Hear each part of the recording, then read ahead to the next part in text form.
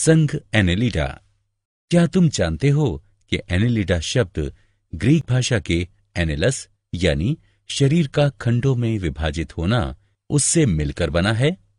इस संघ के प्राणी द्विपार्श सम्मिति वाले बहुकोशकीय तथा त्रिकोर की होते हैं। इनमें वास्तविक देह गुहा पाई जाती है, अतः ये गुह्य प्राणी होते हैं।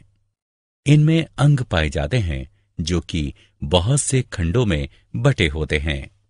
ये भिन्न भिन्न वास स्थानों जैसे स्वच्छ जल, लवणीय जल तथा भूमि पर पाए जाते हैं। एनेलिडा के कुछ उदाहरण हैं। पेरेटिमा यानी केंचुआ, हिरूटिनेरिया यानी जोंक तथा नेरीस।